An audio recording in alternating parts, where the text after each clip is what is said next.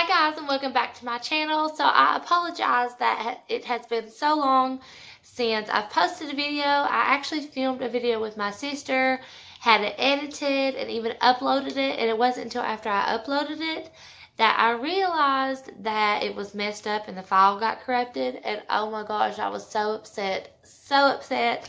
But we are eventually going to redo the video hopefully sometime this week. Uh, but yeah, so I had a video, it was up and I had to take it down and I was really, really upset about it because I spent so long editing that video. It was really cute. But anyway, today I'm just sitting here doing my makeup. I'm getting ready to go to church in a couple hours and I thought I would sit here and do the mom tag or it's um it's 20 questions uh, to ask moms. I don't know if this is the official mom tag. I don't think it is.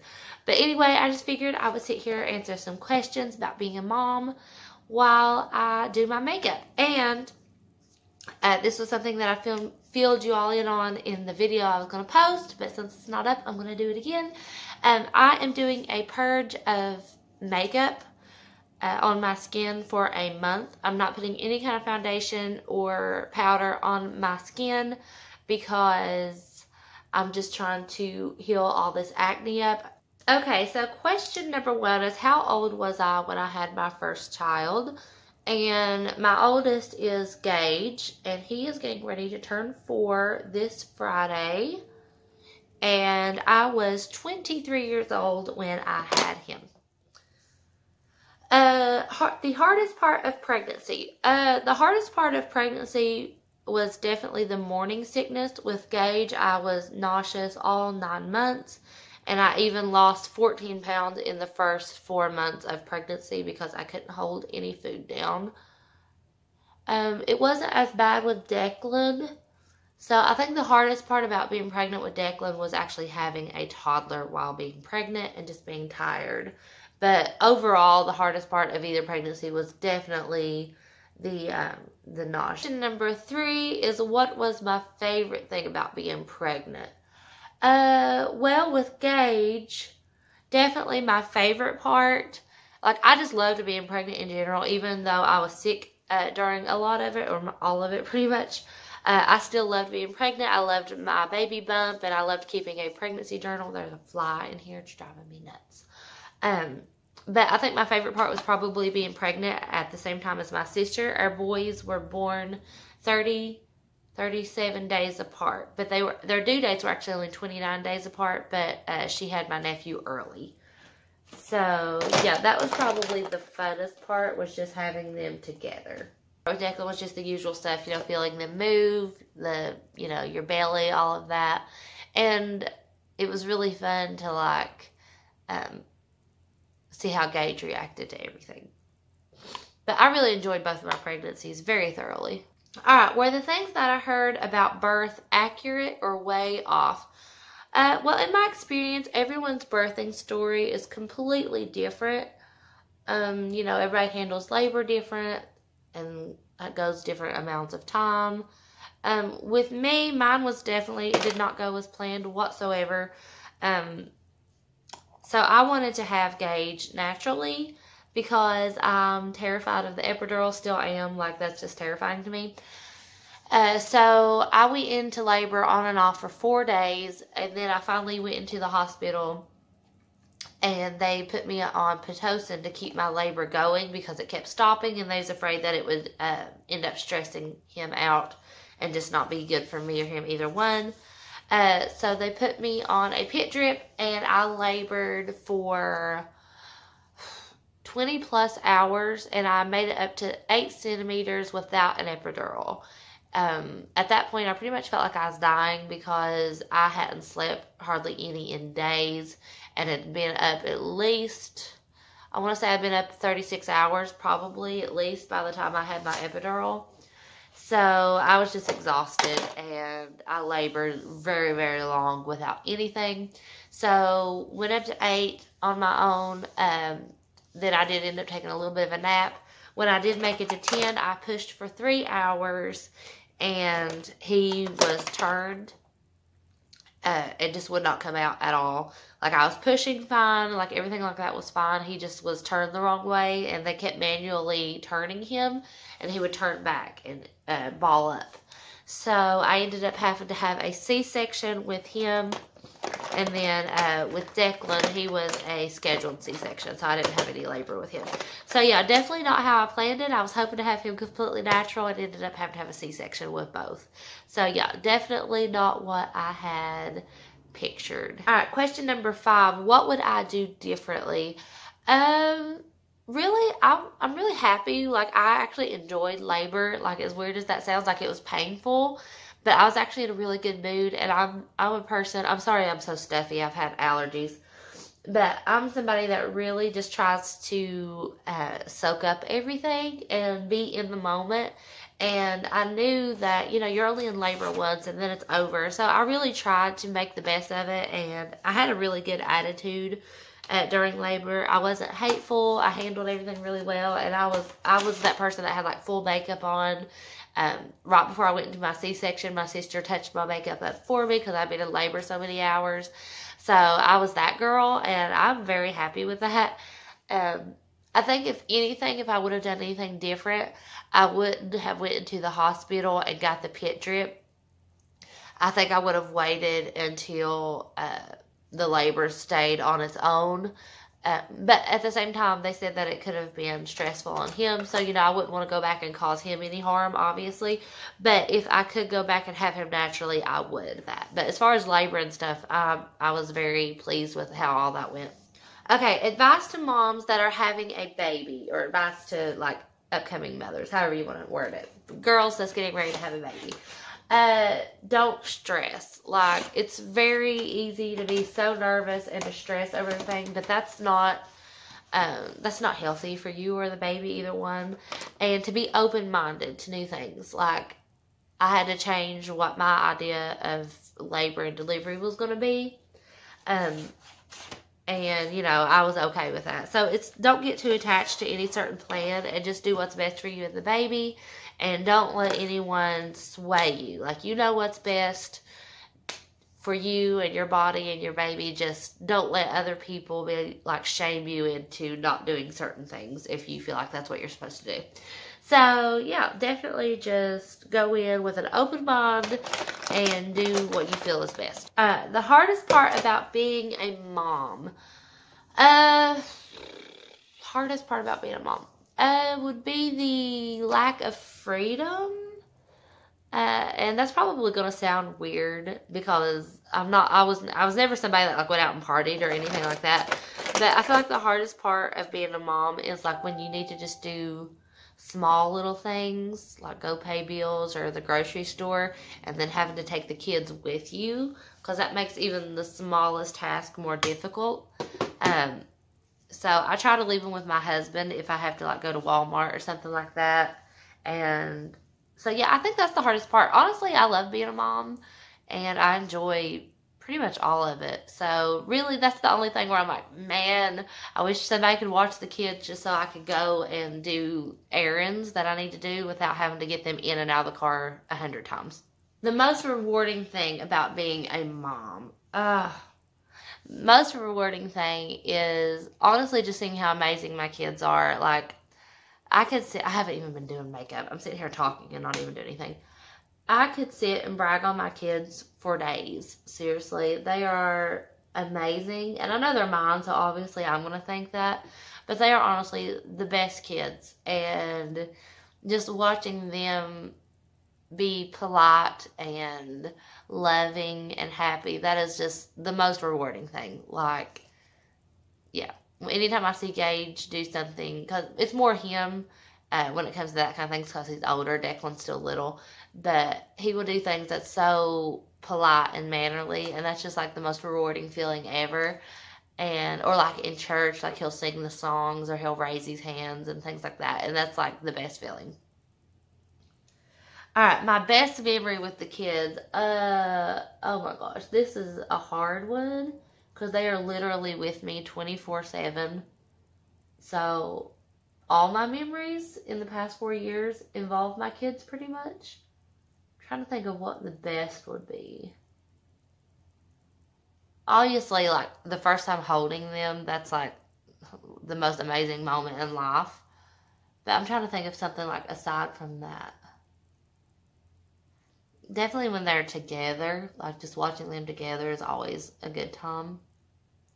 But I don't know what the best memory would be. Like they're all really good. But probably the holding them for the first time. That's just something that really sticks out as like the most amazing moment in life. The most exciting milestone uh, definitely the walking. I feel like that's a, the biggest one for me. Uh, even more than like first words and stuff. Like when they start having their first steps, I think that's like the biggest, most exciting moment as far as milestones go. And then potty training. Oh, that's a good one. Yes, definitely the potty training too. Like when that's done, that's an exciting, that's an exciting feeling having them out of diapers is the worst thing your child has done? Trying to think of anything really bad that they've done. Like I said, I have really good kids. Uh, Gage really isn't ever mean about anything. He's um more of a whiner. Like if he gets upset or something, he's whiny. But I'm not gonna like say that's the worst thing he's ever done. Um as far as just doing something rotten, like I think the worst thing Gage has done is draw with a crayon on our walls. But luckily it was before we renovated, so it wasn't like a huge deal. But like if he done it now, I'd be very upset because um, everything's been freshly redone. But so probably that for Gage. And then for Declan, uh, he likes to pinch his brother. So that's probably the worst thing he does. What is a habit you wish your child didn't have?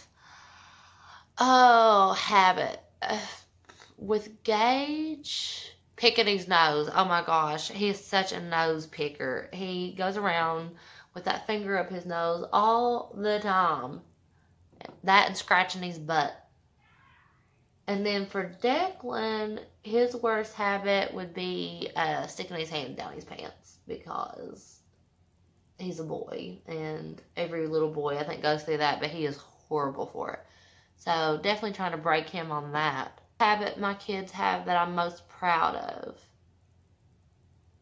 Um, with Gage, definitely he's very mannerly. He always says please and thank you, and um, like he'll he'll actually correct me and his dad if we say something that we're not supposed to say, like to him. Like we don't cuss or anything like that. Um, but like if we use the word stupid, like he will correct us and say that's not a nice word. And I love that about him because he is so um, thoughtful about things like that. He doesn't like anyone to be hateful or to fight or to say things that in his mind aren't nice things to say. So he's very, uh, very much in the habit of being respectful and kind. And then Declan's a little bit harder for him where he's still so little. Um, what's a habit that he has? Oh, he always, anytime we're leaving somewhere, he always waves and says bye to everybody. And he has to make sure that he says literally bye to everybody. And so that's definitely a habit that he's in, and I think it's adorable. All right, what are some similarities between me and my children, either uh, with looks or personality? Well, with Declan, he literally is my little twin. So we have that those similarities. Gage is definitely very um, loving, like me, but he has a lot of his daddy in him too, where he's more um, um, he's more standoffish in ways. Like he likes to be by himself, like when he's playing and stuff. A lot of times, uh, and I was definitely not like that. I was a little social butterfly. And he is to a point, but then at the same time, like there's times he just wants to go in his playroom and be by himself. And he definitely gets that from his dad. Um, and I'm trying to think of other things. Uh, they love music and they love to sing, and that's something they definitely did not get from their daddy. This was kind of a, a weird question well, not really weird, but it's gonna be kind of hard to answer. But it's um, where do I want my child to be in 10 years? But I mean, my kids are so young. Um, so in 10 years, Gage will be 14. that sounds so weird. Um, I would like for him to definitely be active, like in his youth group with something. I think that um, both of my kids will probably end up playing an instrument. So I would like them to have been learning how to play something at that point. Uh, whatever they choose, whether it be like piano or guitar or drums or whatever. But that is definitely something that I would like to see is them stepping into what their calling is going to be as far as like with church and things like that. And I'm hoping that they do sports. I know Declan will. Like he's got it in him. He loves anything to do with a, a ball. Gage, not so much. So I'm not really sure what he's going to be into. And if it's not sports, that's totally okay. I'm not a big sports person, but I do want them to be in some kind of activity and some kind of social group. What is something that having a child has taught me? Um, it's taught me a lot of things. Like I can't really narrow it down to one. For one, life is short and it passes so quickly. Like I feel like since I've had kids, time has really flown by seems like when you're a kid, it drags and you feel like you're never going to be an adult and you're never going to, you know, be able to do certain things. And then you have kids and you watch how quick they grow and it just seems like it's flying by. And then it's definitely taught me patience and it's taught me that it, it's not about me. and all good things, definitely, but I've definitely grown a lot as a person since being a mom. I feel like like I've, it matures you, and if it doesn't, then um, something's wrong with you because uh, you know having a kid will make you grow up quick. Uh, did I imagine that I would be the age that I was when I first became a mom? Um, actually, I imagined that I would have been younger uh, by a few years because it took it took me two years to get pregnant with Gage. I had some issues, nothing major, but it just took a while. Um, and then, like I said, I was 23, but I started trying to have him right after me and my husband were married, and I was 20. Um, so yeah, I was actually a little bit older than what I figured I would be. I always, I knew if I had kids that I would have them young and that I would have them close together. All right, describe my child in a single sentence. Uh, Gage is kind and loving and sensitive, very sensitive to just everything his feelings, other people's feelings. And that's probably more than one sentence, but he is. He's kind and loving and sensitive and big hearted. Uh, Declan is my little firecracker. He is he is joy to be around, honestly. He's the sweetest little thing, but he has got some fire behind him, and I, I love it so much. They're so alike, but they're so different at the same time. They both have such big hearts, and they're so loving. But Gage is more timid, where Declan is definitely more of a little a little fireball. Okay, and last question and this was kind of like the other one, um, but it says, describe how being a mom has changed you. Uh, so, being a mom has definitely, like I said, made me a more patient person. I wasn't always very patient about things, but I've learned just to take life slow and just enjoy the little things. It's also made me less worried about what other people think. I was always so worried about pleasing everybody and looking the right way and acting the right way and now I don't even I'm like I'm just myself. I know that I'm a good mom and I focus on my kids more than I do myself, which is always I mean that's a good thing. That's the way it should be. But you worry less about other people's opinion of you. I think because it's no longer about you. So, yeah, I don't worry about if everyone likes me or approves of everything I do because not everyone's going to like you. And I'm okay with that. I'm like, I'm just myself. I'm outgoing and loud and obnoxious sometimes, but that's okay. Alright, y'all, so that is it for this video. Uh, yeah, it feels really weird not doing the rest of my face, but I'll probably get used to it by the time the month is up. But I hope you all enjoyed. Please feel free to answer these questions down below in the comments. I'd love to hear what you all have to say.